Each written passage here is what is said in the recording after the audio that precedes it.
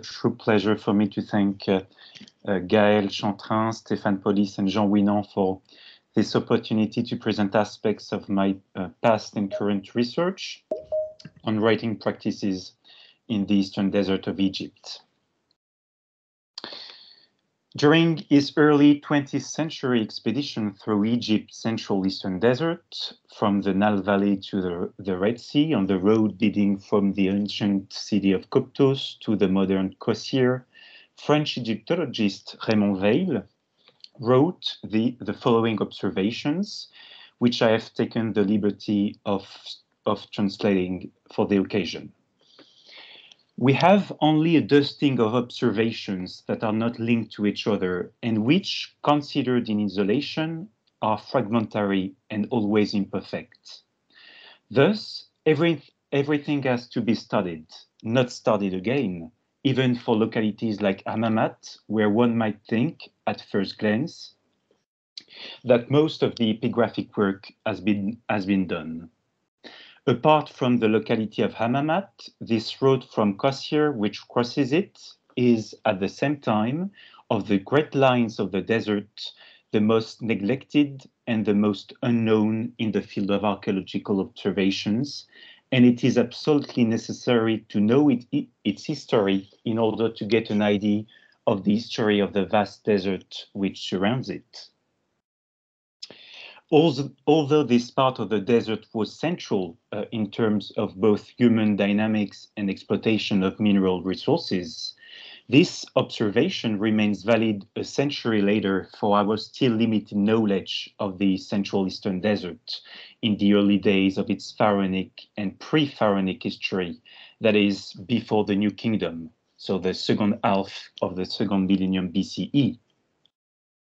In the last decades, under the impulse of Hélène Cuvigny and Steven Sidebotham, to name but two scholars, numerous missions have shed new light on the Greco-Roman remains of the Eastern Desert.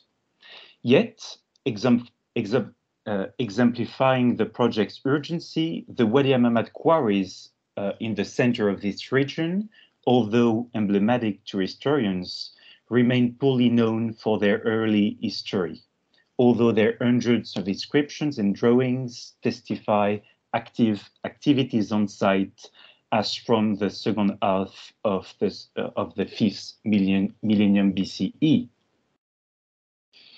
Beyond this, uh, this partial lack of knowledge, there is now a patrimonial emergency. In the desert, more than anywhere, anywhere else, growing human activities threaten testimonials from the past, making it more necessary than ever to rekindle its rich history.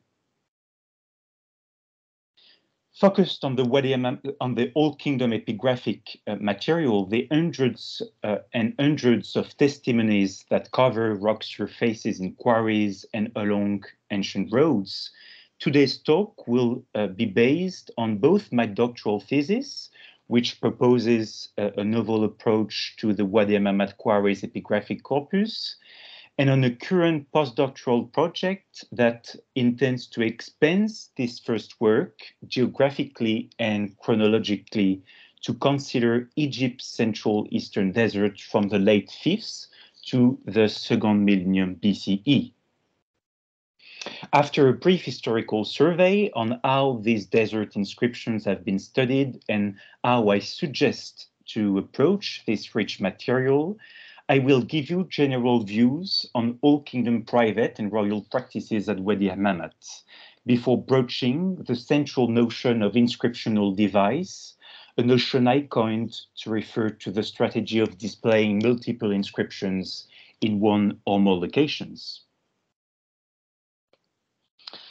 Even partially, the vast majority of these inscriptions have been published, translated, and more or less commented since the time of the first modern explorers. Here, concerning the Wadi Hammamat inscriptions, Lepsius, Golenishchev, and uh, Montet in the early 20th century.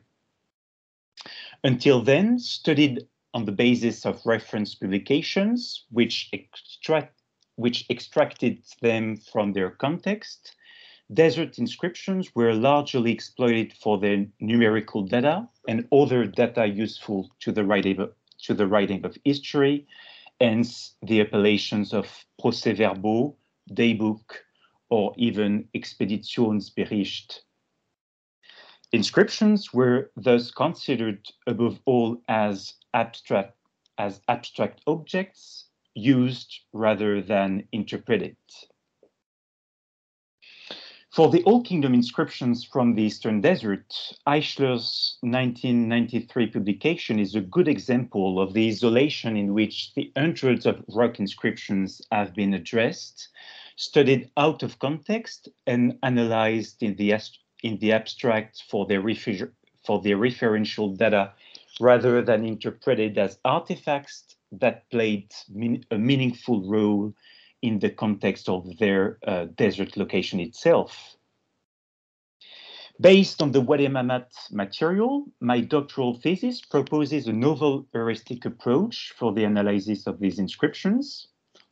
By questioning the how, the question of the writing practices underlying these inscriptions artifacts, the aim was to shed light on the why, the question of pragmatics, that is the intelligibility of these investments, human and material, graphic and symbolic, in remote and liminal desert places. The approach adopted he here is based on the idea that the meanings conveyed by an inscription go beyond the pure denotation. First, by taking into account the material dimension of the inscriptions, I have studied I have studied the significance of their locations in the quarry landscape using, among others, uh, the notion of spatial dynamics. Second, by taking into account the visual dimension of the inscriptions, I have studied the graphic devices, that is, the ways in which the writing is staged, is staged sorry, on a given rock face, layout, and other visual sciences. And finally, third, uh, by taking into account the, the textual dimension of the inscriptions, I have studied the material, uh, uh, especially in light of the notion of intertextuality, as it turned out that on the scale of the site studied, the analysis of the relations that linked the inscriptions to each other uh, was particularly fruitful. Now, let's take the Wadi Hammamat uh, corpus as a case study to uh, introduce several uh, Old Kingdom private and royal writing practices. These quarries are located halfway between the site, the, the, the site of Coptos and the modern Qasr on, on the Red Sea shore. It is uh, a six kilometer portion of this ancient road known as main communication axis and for its uh, geological resources.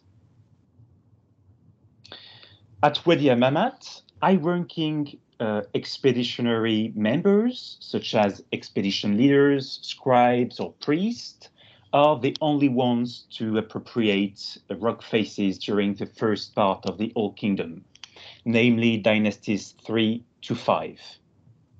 This kind of privatization of the quarry walls ends with the reign of King Pepi I uh, from Dynasty 6, when the king floods, so to speak, uh, the Wadi's landscape with a marking of his own. The shortest intelligible mark is clearly the name itself, although uh, quite often the dignitary um, claim his relation with the social group by adding uh, his titles. Through what, I, through what one may call inscriptional attraction following uh, John Darnell's uh, work, a large number of individuals engrave their name next to a forerunner's uh, inscription or next to a colleague's during a joint graphic investment. Sorry.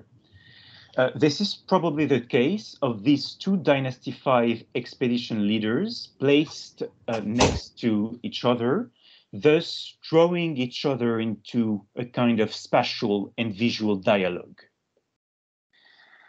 Um, they illustrate perfectly uh, what some call spatial dynamics, a notion common in Greek epigraphy, where uh, it was coined as describing how inscriptional placement can be a vector of a different meaning. Here, spatial dynamics is to be understood as a form of social dynamics, in the sense that vicinity can sometimes induce sociability, either among members of uh, the same expedition or with distant uh, generational or intergenerational colleagues. In addition to uh, this first strategy, two others can be considered. The first concerns the commemoration of each individual's name. Here, Xiahufu and uh, Kayaper, so the, the yellow boxes, uh, the first having his name at the bottom of his, of his inscription in a larger module, while the second has his name repeated twice. The second concerns uh, the celebration of a proximity with the royal sphere, so the second strategy I'm talking about. Let's have a look at the visual syntax of Kayaper's inscription. The, uh, the upper part depicts, so to speak, the expedition leader Kayaper among his men, both his troops and the officials he supervises. The lower part's layout is also impressive in that it gathers elements with narrative potential that the visual level stages. Kayaper here is depicted in his relationship with his royal master, mentioned above through his mission in every desert, which frames, uh, so to speak, this relation. Another hierarchical uh, relation puts the, uh, the expedition leader above his son, who was uh, probably a member of his father's mission. These different spatial, visual, and linguistic levels partake uh, in staging individual social identity. And all these strategies are to be compared uh, with Private Tom's iconographic and textual device in the Nile Valley, where similar self-presentation strategies can be observed. Along with private inscriptions, as from the reign of King uh, Pepi I, Royal markings are also to be found on the quarry's walls. I'm going to show you some of my interpretations uh, in terms of their pragmatics. At the time of Pepi I, an inscriptional device of six royal panels uh, uh, in one uh, um, so, sorry, uh, uh, of six royal panels was displayed in one of the Mamat main inscriptional areas. As a, a reminder, an inscriptional device is a notion which serves to uh, refer to the strategy of displaying multiple inscriptions in one and more locations.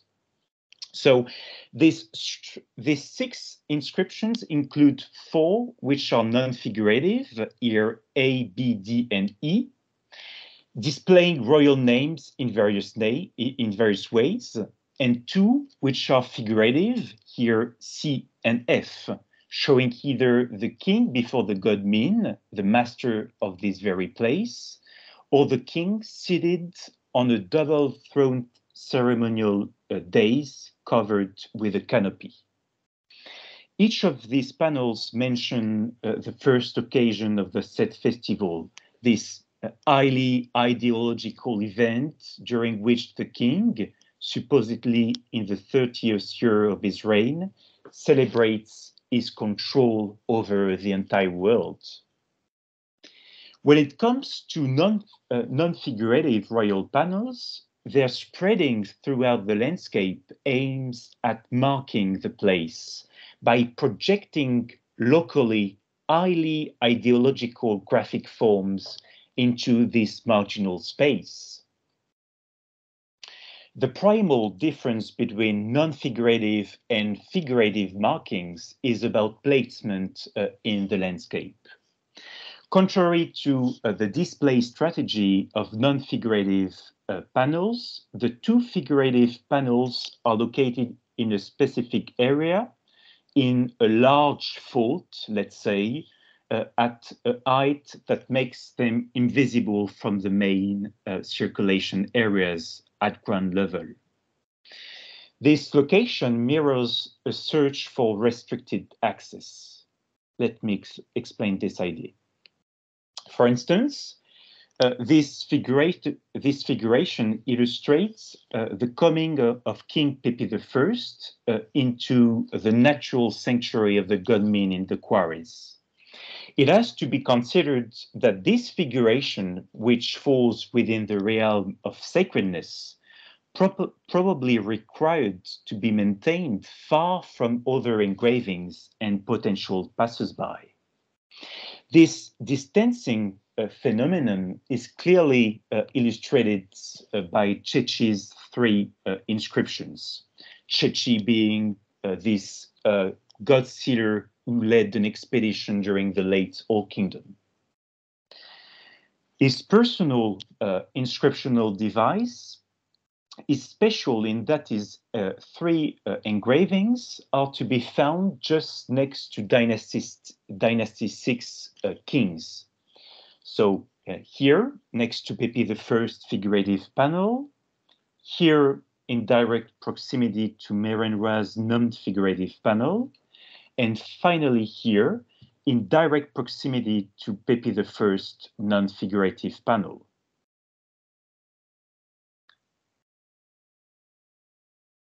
even if it had been possible in terms of available space, his inscription in the large fault isn't engraved in direct proximity uh, to Pepi I's figurative panel.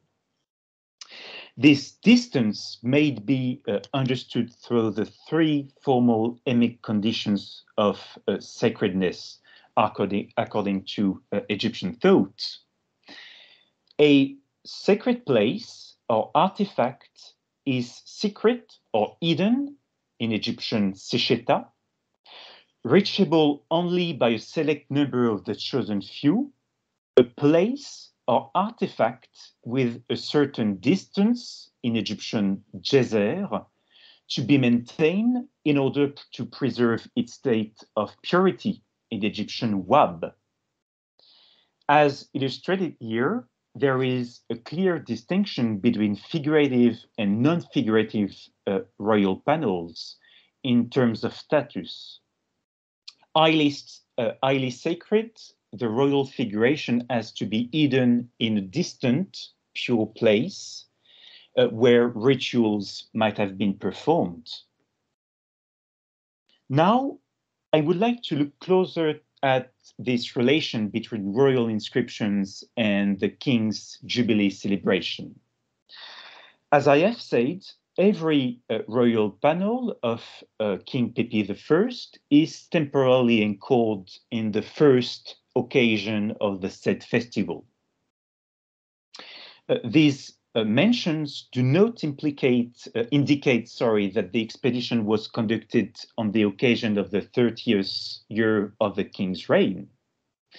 They would rather they would rather uh, serve to integrate uh, the expedition commemorative in a fixed in a fictitious chronology of the reign. Anchoring an expedition to the Jubilee celebrations might have served to illustrate the renewed capacity of the king to maintain his control over the liminal world, the uncontrolled world, let's say. Um, during this royal celebration, uh, the king's ritual run stages his capacity to have power over his old territory, symbolically delimited uh, by marker cairns. The fact that royal expeditions were sent to the edge of the world uh, on this very occasion would imply that expeditions were understood as extensions of this ritual appropriation of the world.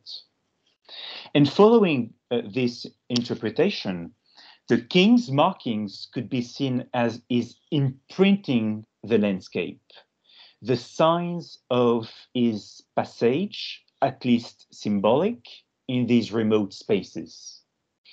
This uh, leads me to fundamentally conceive all private and royal rock inscriptions as imprint as imprints uh, in desert landscapes. The inscription imprint is part of a testimony, primarily of a passage, then secondarily uh, of an event, or of all that marks the moment. So as to maintain a figurative memory, uh, to quote uh, the French semioticien uh, Jacques Fontanille.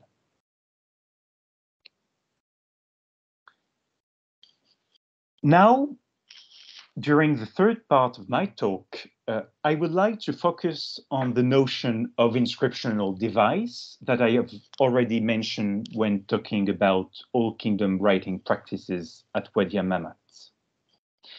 A definitional overview is necessary here. The inscriptional device is about iteration of the writing act and dissemination of the name, royal or private. The inscriptional device um, is uh, this practice which can, which can take uh, uh, different forms uh, and which is attested at all times uh, concerning private and uh, royal inscriptions. The, the, the, graphic shown here tends to summarize uh, what an inscriptional device is. I here conceive a rock inscription as a semiotic ecosystem. So another notion I coined to refer to the material, graphic, and situational environment initially devised to form a, co a coherent, functional, and meaningful whole, implying a specific adjunctivity in terms of ostentation and uh, pragmatics, for instance.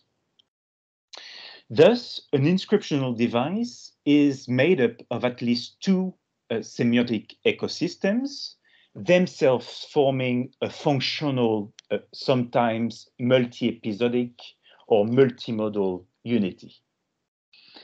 As shown here, the notions uh, the notion offers up many angles for analysis, from the individuality of an inscription artifact to its uh, uh situation, to its situational setting, and also to the overall staging strategy in one or more locations.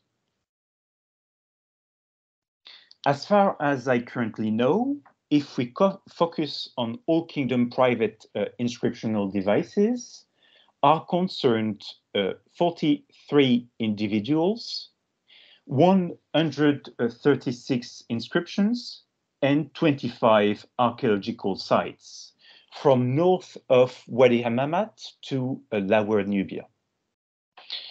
Private uh, inscriptional devices are equally represented in each period. Many of them uh, transcribe a local or regional, uh, let's say, radius of action.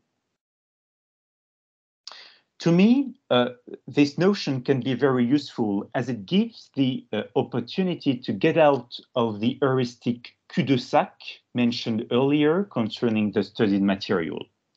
This descriptive and analytical tool makes it possible to consider these, these writings uh, from the point of view of practices, placing the uh, uh, inscriptional artifact in relation to the former actors, their dynamics of circulation, occupation, and investments of space, and the motivations behind them.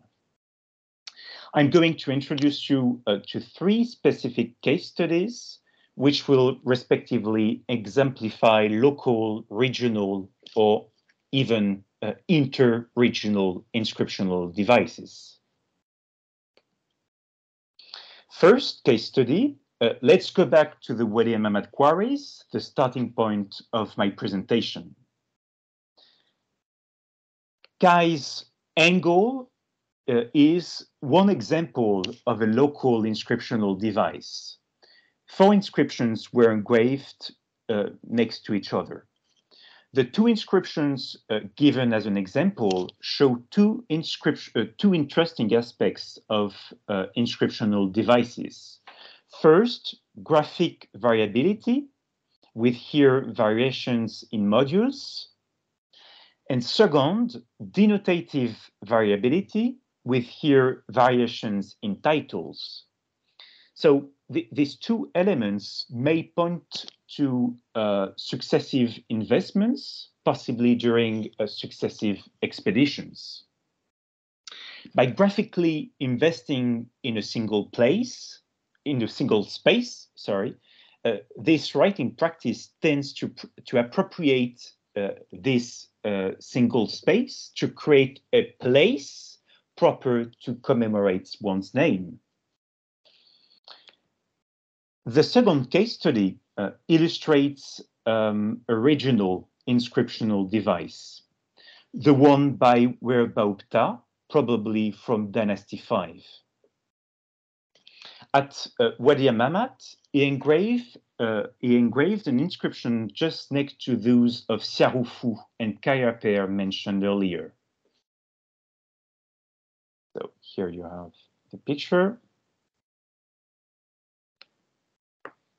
Uh, describing him as a personal scribe, scribe of the royal records, juridical sc royal scribe and royal instructor, scribe of the navy uh, of the navy recruits, and scribe of the uh, expedition, where Baupta, who does what his lord desires in foreign lands. Uh, the same surprising titles in an expedition context are also found about 25 kilometers east at a desert station on the way to the quarries.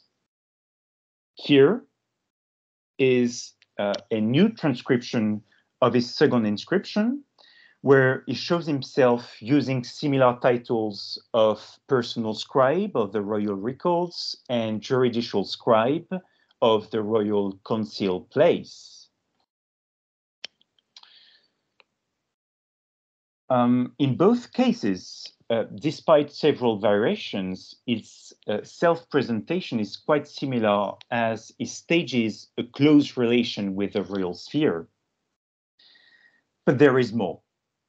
Next to his desert station uh, inscription, there is an engraving, uh, perhaps related to the same Siarufu as the one at Wadi Hammamat.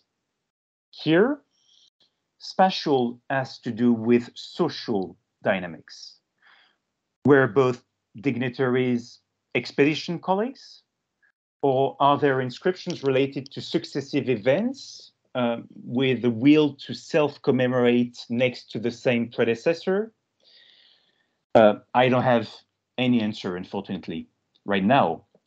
Um, the four uh, inscriptions of uh, two related uh, dignitaries and in two different places highlight the ancient itinerary they used to reach the quarries in both places as a, a kind of testimony, self-presentation and commemoration. They imprinted the landscape.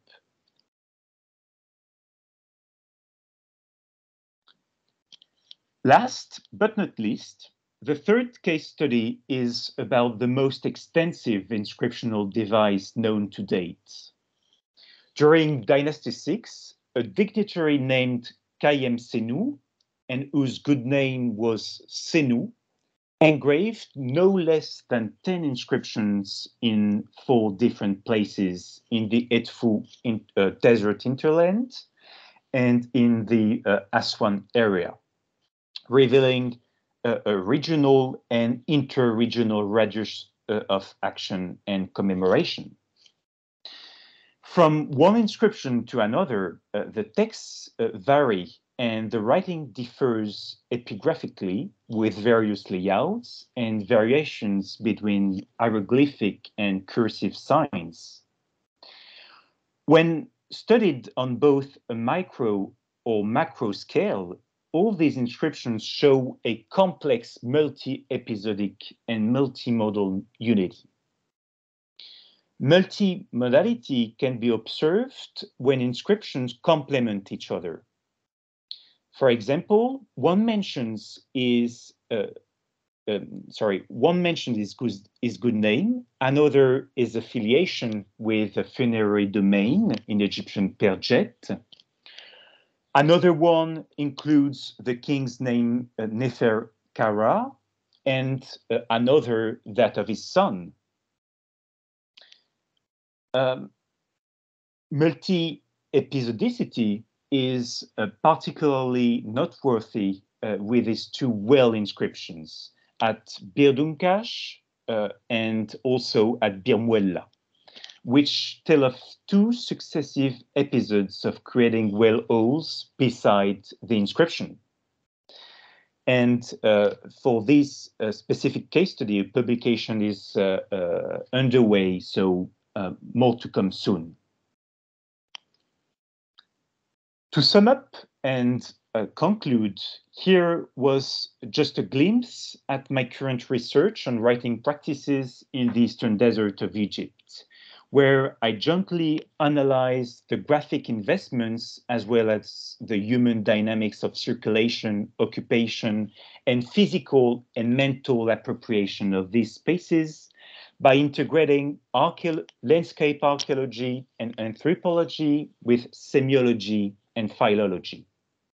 One specificity of my project is to create an online database by joining the ERC-funded uh, Desert Networks Project Atlas. You have here uh, a view on uh, the website, um, which uh, currently focuses on the uh, Eastern Desert in later times. It will gather, network, and spatialize all the material available to help studying a complex corpus in all its diversity and spatial characteristics. Examining the writing in its spaces and the spacing uh, and the spaces of writing will certainly benefit holistic studies of desert spaces as well as the writing of an early history, let's say my early history of these uh, fringe spaces, from micro stories dealing with a given rock surface or a specific desert place, to macro stories when it comes to regional or even inter-regional dynamics. Rich are these spaces. They link several worlds the ancient traveled, exploited, and inhabited, investing them materially, graphically, and symbolically. Thank you for your attention.